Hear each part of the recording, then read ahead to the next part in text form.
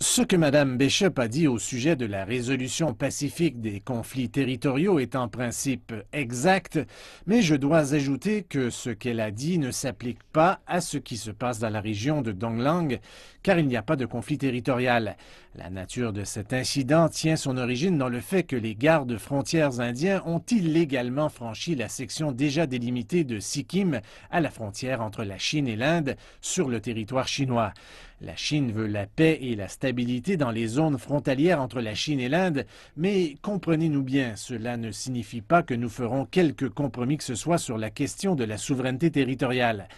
La responsabilité de cet incident revient uniquement à la partie indienne. Nous demandons une fois de plus à l'Inde d'obtenir un portrait clair de la situation et de prendre des mesures le plus tôt possible pour éviter une nouvelle escalade de la situation.